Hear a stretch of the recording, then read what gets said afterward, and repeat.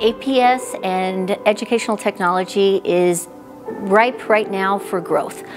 We know that we are in a one-to-one environment and that that should continue because all students will be using their devices past their secondary lives. And having the opportunity to teach students, staff, and their families how to integrate technology into their lives and well-being is, I think, a great aspect of APS that we can continue to provide these services to our stakeholders.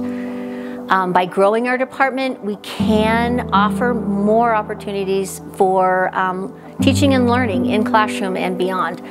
And we can offer many more opportunities for students to become more interested in STEM and STEAM, computer sciences, and being ready to be a productive citizen after that they graduate from their high school and APS careers.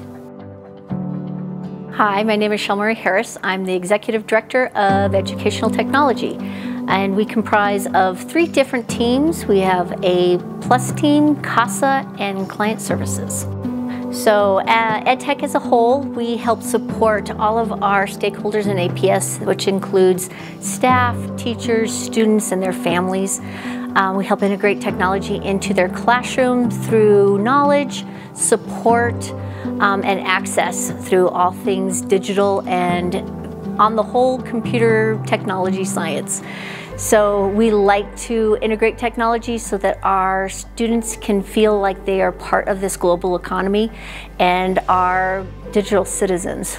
By being a digital citizen, those students are able to take what they've learned in their classrooms and then translate that into the world beyond in using their computers in other ways besides just gathering information and learning. They can use it to um, all their devices then to create and just beyond the possibilities of what they can explore in their classrooms.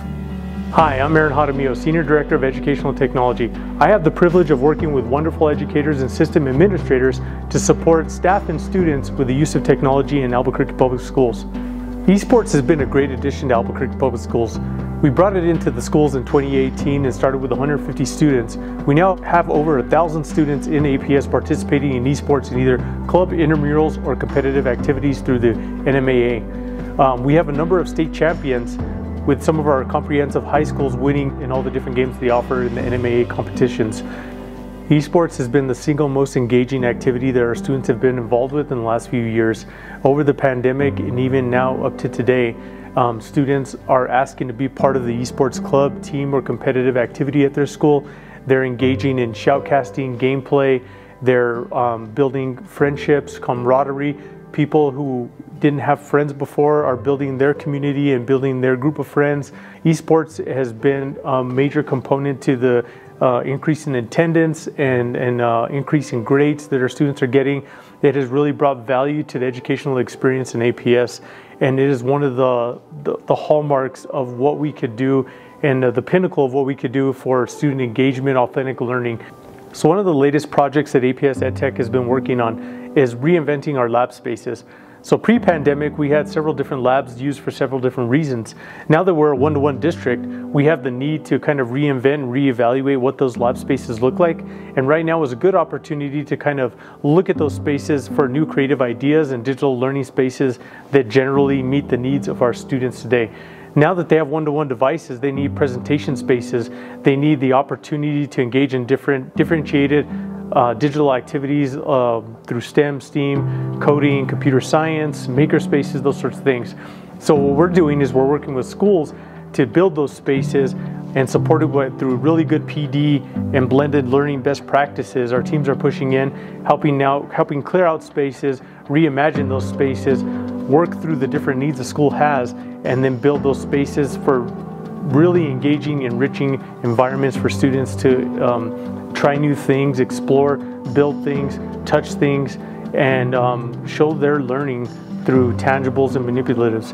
We work with Explora and the Computer Science Alliance and other different entities to help build rich spaces along with district staff to make sure that the schools are supported in a really great way uh, through professional development and learning, blended learning best practices, and to really build that space up into a rich environment where kids can explore, learn, and um, share their knowledge and what they're learning. The kids on the Makerspace days, we're here every day. And, and just having them enjoy the freedom of learning at their pace and taking just chances, risk. We're all about taking risk here. Um, and the makerspace is one area that you can take a take a risk in. Um, it involves STEM, it involves engineering, math, it involves everything. That's why it's called the makerspace because there's tons of making going on. And when these kids walk in, it's uh, it's just amazing to see their eyes light up. EdTech has been wonderful because they are there to help support the teachers in any way they can technology-wise. So if a teacher is really interested in trying to integrate a new technology tool, EdTech is there to walk them through the process step by step. EdTech will even come out to your school and help you demonstrate the lesson or walk through the lesson with you. They want to be in schools helping and navigating the teachers through integrating these technology skills. We made like lights that show up in a card and we are going to give it to them. I'm thinking I'm going to give it to my mom and, and this was super fun, probably one of my funnest things I've ever done my whole entire life in school. Thank you, EdTech.